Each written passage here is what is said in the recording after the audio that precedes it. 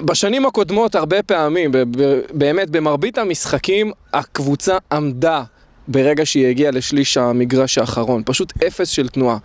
ואני חושב באמת, אחד הדברים שגורמים לי להיות, גורמים לי להיות אופטימי בכל מה שנוגע לקבוצה של ראובן עטר, זה העובדה שהשחקנים זזים כל הזמן. כל הזמן בעצם יש גם תמיכה של המגינים בהתקפה, גם הקשרים בעצם יותר חותכים לאמצע, יותר בוא נגיד מניעים את הכדור. אני חושב שחלק מה... גם התפקיד של התקשורת וזה טבעי וזה, ישר נכנסים לפאניקה, נכנסים... נכנסים ללחץ, צריך לקחת הכל בפרופורציות. סך הכל מדובר, עברנו שני משחקים, שני משחקים לא קלים, מכבי תל אביב בחוץ זה תמיד קשה, קריית שמונה אלופת המדינה, צריך לקחת את הדברים בפרופורציות, הכדורגל הרבה יותר טוב משנה שעברה כשמשחקים אותו כדורגל טוב. לדעתי יש איזה בעיה של הסיומת דווקא. מגיעים לשער ככה ולא לא כל כך יודעים מה לעשות, למי למסור, ואז שם הכל מתבלבל. אבל בסך הכל יש הנעת כדור מאוד מאוד יפה, ויש אה, ככה שיתוף פעולה של שחקנים. נראה, נראה משהו שכן יכול להצליח וכן משהו שאפשר לעבוד עליו. אה, וזה ככה לאורך זמן של עבודה. אתה מרגיש בדקות הראשונות לחץ של הקבוצה, גם הבלמים שלך לוחצים על קו החצי, שאני עוד לא ראיתי קבוצות בארץ שעושות את זה. יוצאים קדימה, משחקים כמה שיותר ללחוץ קבוצה. לסגור אותה בחצי שלה ולסגור את המשחק בדקות הראשונות. שאם אתה מסתכל היום, קבוצה שעושה את זה זה רק ברצלונה. לא קרה כלום. צריך אה, דווקא עטר, זה הבן אדם לדעתי שאפשר לפתוח בו, שהוא זה שיעשה הכל לטובת הקבוצה. אין לו שום אג'נדה אחרת, אוהב את מכבי חיפה כמונו אוהדים, כמו אחרון האוהדים. ואנחנו צריכים להיות מאחוריו, להתאפק אה, שכל התקשורת פה חוגגת עלינו. וזהו, ולתת uh, גם זמן, גם צ'אנס. משחק התקפה היה בו שינוי, אי אפשר להגיד שראינו התקדמות לעומת uh, השנים האחרונות, הייתה יותר תנועה, היה לחץ, אבל עם זאת המשחק היה לא מאוזן.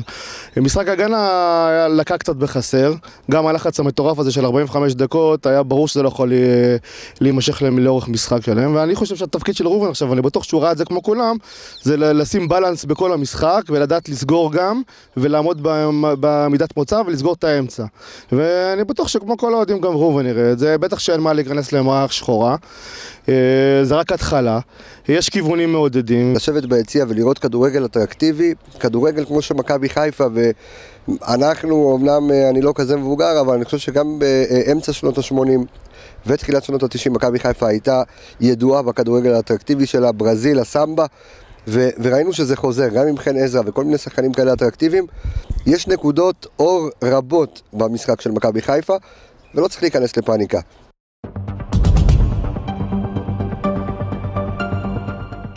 ראובן עטר זה, זה הבית, ראובן עטר זה, זה חלק מאיתנו, זה משהו שנותן לך להרגיש ממש ככה שמישהו מתוכנו, מתוך הקבוצה, מתוך, מתוך המועדון, בא ו- ומאמן את השחקנים, ואין, זה סמל.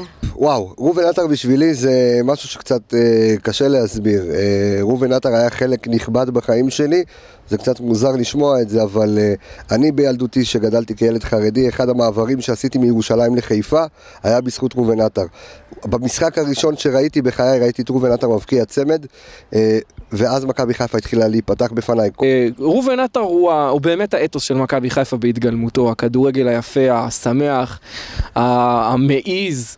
ראובן עטר, מבחינתי כל הפוסטרים שלו בילדות, אצלי בחדר, הם עדיין שם. אה, אליל האוהדים, אני פשוט כל כך חיכיתי הרבה זמן שהוא יהיה ב... במגרש הזה ויהיה בצד שלנו. וזה ההגדרה של ראובן עטר, ירוק תמיד, ירוק בלב. ראובן זה מכבי חיפה. בגלל זה השמחה וה... והאהבה הגדולה כשהוא הגיע לאמן את הקבוצה, זה החזיר אותך לאותם שנים של הילדות, שגדלת, שראית אותו, השנים הגדולות של מכבי חיפה, שגדלנו כולנו עליהם.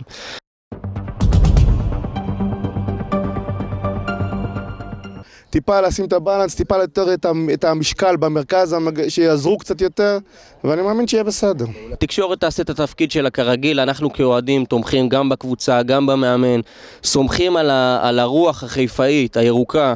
ברגע שלשחקנים יהיה ביטחון עצמי בהגנה, ויבינו שלא כל כדור שהם מאבדים זה בעצם חצי גול, אני באמת, באמת חושב שאנחנו נעלה על דרך המלך. תהיו אופטימיים, אנחנו הולכים לראות כדורגל טוב, וזה מה שרצינו שנים, אנחנו יושבים ביציע, נהנה מהכדורגל, אני בטוח שיהיו גם תוצאות. מכבי חיפה, לא משנה מתי, איך, צריכה לבוא כמו מכבי חיפה, להיות אופטימיים, אנחנו אוהדים צריכים לעשות את שלנו, לבוא ולהיות, ולתמוך בקבוצה, להיות מאחוריה. אנחנו מכבי חיפה ואת זה אסור לשכוח.